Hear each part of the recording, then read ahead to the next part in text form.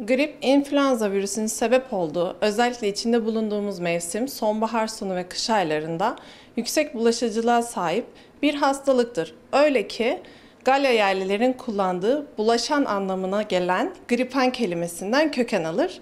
İnfluenza virüsü Yıldızlardan gelen kuvvet, gizli kuvvet anlamına gelen İtalyanca bir kelimeden köken almakla beraber aslında yıldızlar kadar uzak değil. Eğer dikkat etmezsek kolay bulaşıcılığı olan her yerde karşımıza çıkacak bir virüstür ve e, dikkat etmezsek riskli gruplarda yüksek oranda ağır seyredebilen bir hastalıktır ki halk arasında paçavra hastalığı olarak bilinir. Grip, öksürük, hapşuruk ve konuşmayla yayılan damlacıklar yoluyla, solunum yoluyla alınarak bulaşabilir.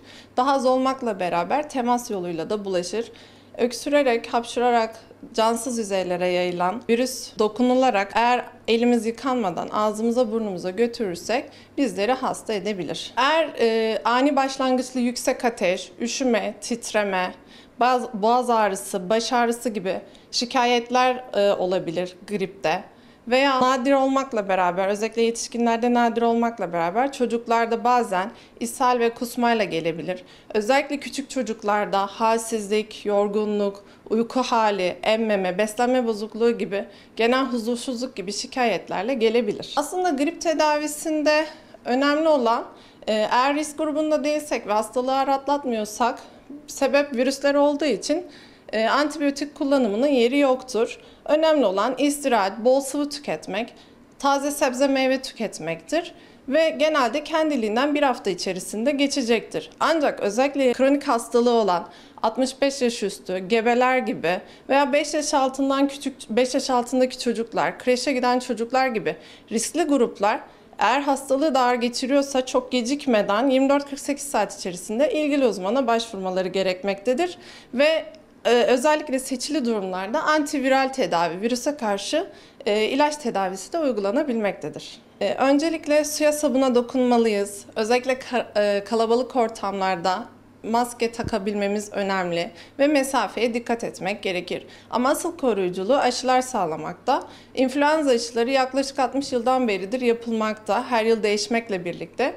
Dünya Sağlık Örgütü her yıl e, virüsün yüküne göre aşıları yeniden düzenlemekte ve ülkelere dağıtmakta.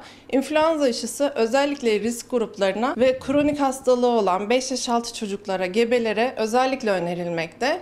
Her yıl e, Ekim-Kasım aylarında Mart ayına kadar yapılabilmekle birlikte aşılanma önerilir. 9 yaş altındaki çocuklara aşı en az 4 hafta arayla 2 doz şeklinde, 9 yaş ve üzerine tek doz şeklinde yapılabilir. Aşının koruyuculuğu yapıldıktan yaklaşık 2 hafta sonra başlamakla beraber koruyuculuk yaklaşık 6 ay kadar sürebilmektedir.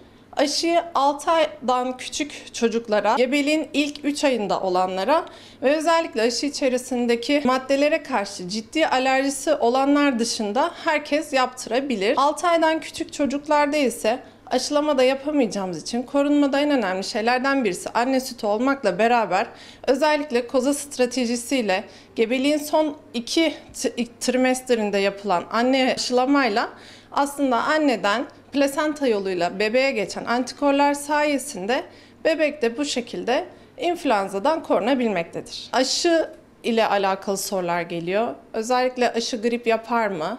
Aşının kendisi grip yapmaz ancak aşı e, vurulduktan sonra koruyuculuk 2 hafta kadar süreyle başladığı için o arada eğer tesadüfi olarak bir e, hasta grip virüsüyle karşılaşırsa o zaman grip olabilir. Aslında aşının kendisi değil, tesadüfen koruyuculuk başlayana kadar karşılaştığı bir virüs buna sebebiyet verebilir. Özellikle sorulan diğer sorulardan biri, hocam biraz gribim, iyileşme aşamasındayım ya da gerçekten grip kaptım, aşı vurunabilir miyim sorusu. E, gripken aşı vurulmak aslında hastalığı daha beter e, artırabileceği için önerilmemekte. Özellikle bir de aşı astımlı çocuklar açısından sorulmakta. Hocam çocuğumun astımı var acaba aşı daha beter yapar mı? Astım atan tetikler mi gibi. Aşının astım atan tetiklemesi gibi bir durum söz konusu değil. Özellikle hatta kronik hastalığı olan astım gibi, kistik fibrozis gibi göğüs hastalıkları olan e, çocuklara koruyucu olması adına özellikle aşıyı önermekteyiz.